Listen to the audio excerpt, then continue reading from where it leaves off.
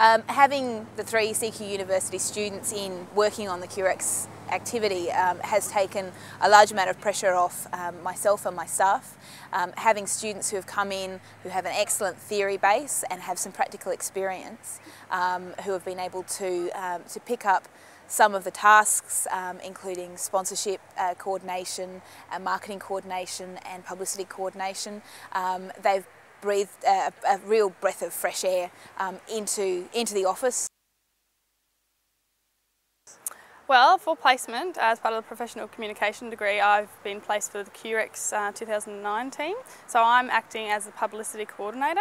So I have to liaise with all our sponsors and um, try and get publicity, uh, media releases, press releases out about them, uh, about our launches. Um, I'm in a couple of weeks doing a relaunch of our campaign because we've just had a big sponsor come on board. So generally throwing myself in the deep end and trying to get all the experience I can in writing and liaising and building relationships within the community. I've been working as a marketing coordinator, which means that I get to help Ellie and the sponsorship coordinator, as well as our publicity coordinator, delegate marketing tasks. And I've been doing a lot of the flyer distribution.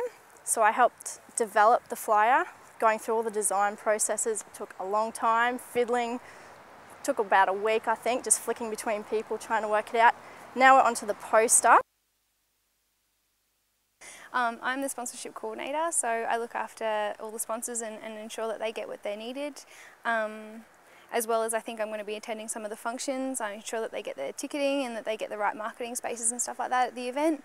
Uh, and I get to organise their uh, sponsorship gift at the end of it as well. So that's pretty cool and I get to organise the, the thank you dinners for both the volunteers and all of us working at QREX as well as all the sponsors who, who sponsored us as well. So that's going to be really exciting.